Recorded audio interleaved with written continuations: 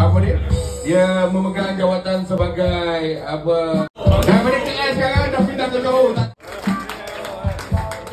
Eh, terima kasih Tuan Syarul. Kita punya kita walaupun dia boleh cocok orang dia boleh ambil gambar jugalah dia memegang jawatan ni uh, dia tahu dia memegang jawatan sebagai SS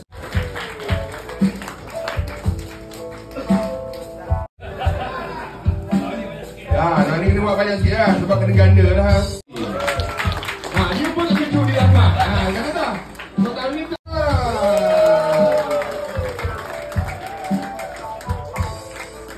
Okay, tunggu tu. Alright, seterusnya kita ada acara set- tapi yang paling belakonnya Sapuan tiap bulan ada birthday. Sebab apa? Kawan ni panggil dia baby, jadi baby tiap bulan beranak. Orang tengah swimming lagi.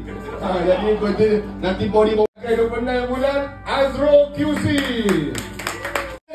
Happy birthday.